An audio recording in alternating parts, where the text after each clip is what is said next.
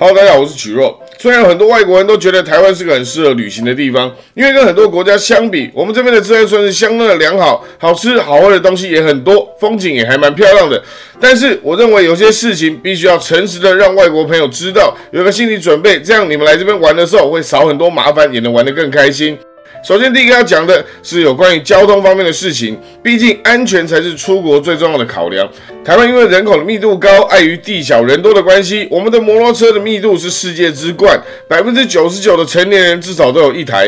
因为在台湾开车，尤其是在大城市，光是找个停车位，可能比你找到女朋友的几率还要低。所以来台湾要特别注意摩托车，因为有很多骑士喜欢在车阵当中蛇行，而且速度都相当快。能的话，请尽量走在人行道上面，以确保安全。第二点，台湾比较少会有乱按喇叭的情况发生，通常是有必要时才会按，路上也很少听到喇叭交响曲，所以当你过马路听到喇叭声的时候，一定要特别注意。第三点，虽然台湾的法律上有规定行人的路权最大，但是台湾人都知道，我们实际的路权是以车辆大小来排序的，也就是说，你的车越大，你的路权就越大，所以行人要特别注意。第四点，计程车。台湾人通常会用小黄来称呼，至于计程车司机，我们通常会称呼他们为问讲。台湾计程车司机的素质呢，好的和烂的比例大概是四比六。好的司机真的是不错，车内很干净，不会乱绕路，有些还会讲英文。但烂烂的也真的是很烂，车内都是满满的槟榔味和烟味。遇到外地来的人，包含台湾人哦，都会故意绕远路，而且有些在短途的还会骂人，更别说急踩油门、急刹车，还有一上车就跟你聊政治的那种。所以，如果你有，疑虑的话，建议可以搭乘 Uber。普遍来说，他们的素质呢会比健身车司机高一点。再来要讲的是跟住宿有关的事情。台湾给外地人住宿的地方不叫酒店，我们都叫它饭店。酒店是台湾最顶级的包厢式卡拉 OK，有美女陪你喝酒、唱歌、聊天，然后一晚就烧掉你一个月薪水的地方。千万不要弄错，如果你仍然执意要去的话，一定要先检查信用卡的额度够不够。台湾的住宿是有分等级的，其中最低档次的叫做宾馆或是旅社，它的价钱非常便宜，可是内部也非常简陋，通常都是外籍劳工约会的地方。再来是旅馆，它的价位中等，通常会提供早餐，客人大多数都是外地来的商务客，要不然就是国外来的团体客，特别是团费比较便宜的那种。再来是民宿，它的价位通常偏高，但在品质方面呢，有点参差不齐。好的真的好的很夸张，烂到吐血的我也住过。优点呢是可以比较贴近当地人的生活，民宿的地点通常风景也都不错。缺点就是如果民宿的主人是属于厨艺不佳的那种，那么你行程的三分之一时间可能都会在厕所里面度。过，再一次汽车旅馆，价位从中等到超级贵都有。我是蛮建议自由行的旅客一定要来住看看，内部真的非常华丽，还有 KTV 啊、按摩浴缸啊、八爪椅、蒸汽室等等的。有些汽旅甚至还提供各种主题的房间，因为客人通常都是来这边偷情的。还有那种另类外送，通常也都是送来这边。总而言之呢，就是很浪漫的地方就对了。至于最高级的地方叫做饭店，价位也是从中等到超级贵都有。饭店的内装呢，虽然比不上汽车旅馆，但是服务会比较好。比如说会有人帮忙拿行李，有专人帮你介绍附近的旅游景点，柜台人员会讲多种外语等等的。在台湾的住宿需要注意以下几点。第一，所谓的备品，像是洗发乳、沐浴乳、牙膏、牙刷之类的，饭店都会准备好，不需要再额外携带。第二，在台湾没有强制规定要给小费，但是如果你要给的话，你会明显感受到服务会比较好一点。第三，自来水不能生饮，请用房内的热水壶煮沸过再喝。如果没有热水壶的话，房间内一定会有准备矿泉水。第四，要使用房间内的 mini bar 或是看电视、网络之前，记得要先询问是免费还是要收费的，因为每家饭店的规定都不太一样。我看过很多外国旅客为了这种小事情跟饭店起争执。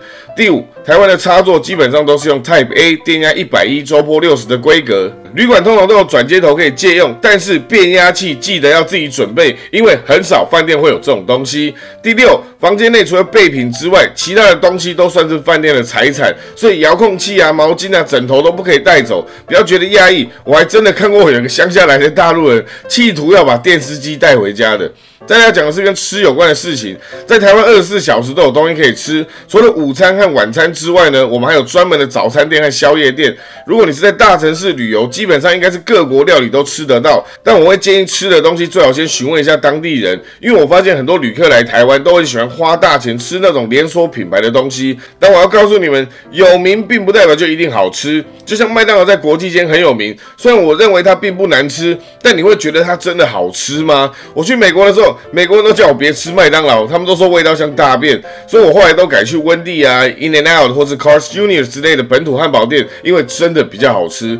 另外还有两件事要提醒各位：第一，有一堆人在排队的店，并不代表就好吃；第二，图片仅供参考，在台湾是存在的。再来要讲的是有关于买东西的事情。台湾的塑胶货币使用率比较低，所以建议旅客可以多换一点现金。这边治安很好，不用担心被抢。台湾可以使用信用卡的地方呢，有高级餐厅啊、百货公司、超级市场、加油站，还有饭店等。一般的店家跟餐厅不一定会有刷卡机，这里要特别注意。至于一定要用现金的地方呢，有传统市场、小吃店、夜市、路边摊等。还有一点很重要，就是杀价。在台湾买东西不是不能杀价，但是要看情况。你可以问店家可不可以算便宜一点，但如果店家说没办法，我们就不会再问第二次，因为我们比较没有那种故意抬高价格让客人杀价的习惯，不像东南亚国家会有那种店家跟你报三百块，就最后五十块成交的情况。在台湾杀价，我们通常都只杀零头，比如说五百九杀到五百五。六百三杀到六百，大概就是这种模式。不过在这边也要讲一下，虽然只占了极少部分，但是台湾确实是有一些无良商商家会故意抬高外国人的价格。比如说之前就有水果摊摆了一杯草莓，上面价钱写五十块，结果等外国人结账的时候变成五百块，因为老板解释说五十块是指一颗草莓五十块。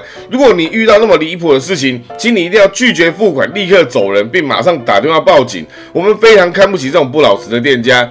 再来讲的是跟法律和生活有关的事情。在台湾，只要你年满十八岁，都可以抽烟喝酒，便利商店和超市都买得到。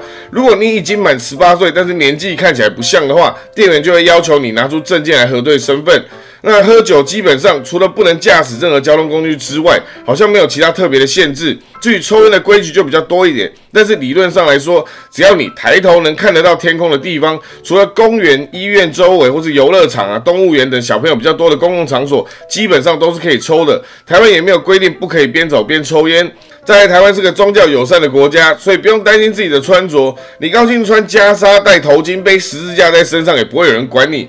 我认为对外国旅客来说，在台湾旅游最方便的地方就是我们的 WiFi，大部分都是不用钱的，通常是由地方政府所赞助，但有一些 WiFi 是由商家提供，你可能要在那边消费，店员才会告诉你密码。最后要讲的是，在台湾如果发生紧急事件该怎么办？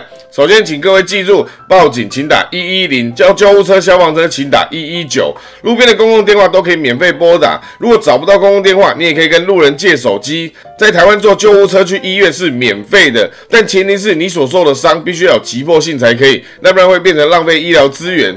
如果你在台湾受伤或是生病的话，其实真的可以不用担心。很多人可能不知道，台湾的医疗在全世界的综合评比当中是排名第一。我知道听起来很不可思议，但如果你有在国外看过病，再去跟台湾做比较，你就会发现这是真的。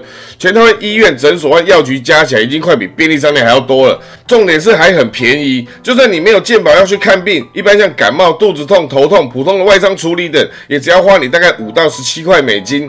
这个价钱是有包含药品和打针的费用哦，不需要再额外收。费，所以你现在明白为什么黄安这家伙整天说台湾有多烂，但是每次只要一生病就会开始怀念这个地方了吧？最后希望所有来台湾玩的旅客都能有美好的回忆，然后可以平平安安的回到家，继续面对你不想面对的老板，上你不想上的班。这这个就上到这边，我是曲沃，谢谢收看。想了解更多没有用的情报吗？欢迎各位可以订阅我的频道哦。曲沃碎碎念，我们下次